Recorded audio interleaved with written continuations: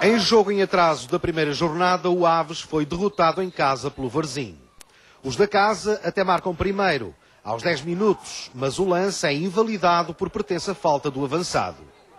Contra-ataque rápido dos comandados de Henrique Nunes, mas Vinícius remata ao lado. A resposta do Varzim acontece numa excelente jogada de ataque, mas o remate também sai com a direção errada.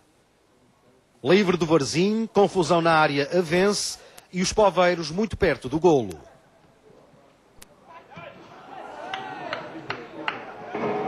Nos segundos 45 minutos, o Desportivo das Aves, de livre, volta a ser a primeira equipa a criar perigo.